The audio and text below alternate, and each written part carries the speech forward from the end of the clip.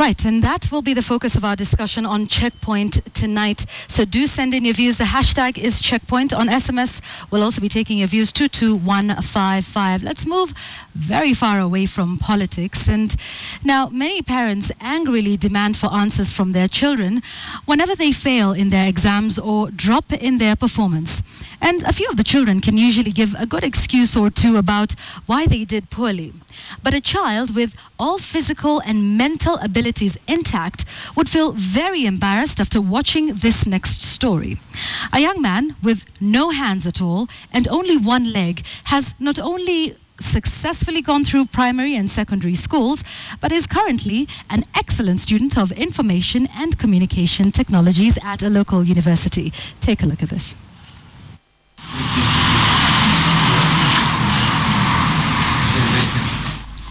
Over a decade and a half ago, Robert Gesanda, who was five years old then, was full of hope for the good things in life. He had a strong desire of becoming a pilot someday. Little did he know that an accident at a road construction site in Nyamira would put paid to his dreams.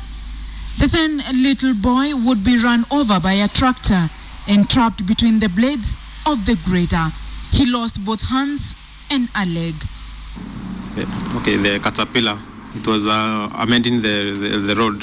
So as, as small kids, we went there to check what was happening. Then um, it, it lost the control and it just uh, followed me. Then I don't know why I found myself in between the grinders of the caterpillar. During his stay of over a year in hospital, Robert would learn to do things using his only leg. Started with uh, drawing using the leg. Step by step, uh, I started eat, uh, eating using the leg. Robert was taken to a children's home in Dagoretti upon discharge since he had lost his mother while his father remarried. He schooled while at the children's home. He later enrolled at Inoorero University, courtesy of a good Samaritan, earning himself a diploma in ICT. My dream was to become a, a pilot, but when the accident happened, I had to change the, my dream. He demonstrates to us just how he managed to get through the computer classes. Robert believes he needs to depend entirely on himself. Okay, the others who are have the, the same challenges as, as I'm experiencing is that um, okay, uh, everyone has a talent in them. It's good to use that talent instead of um, okay going to the streets uh, begging and yeah.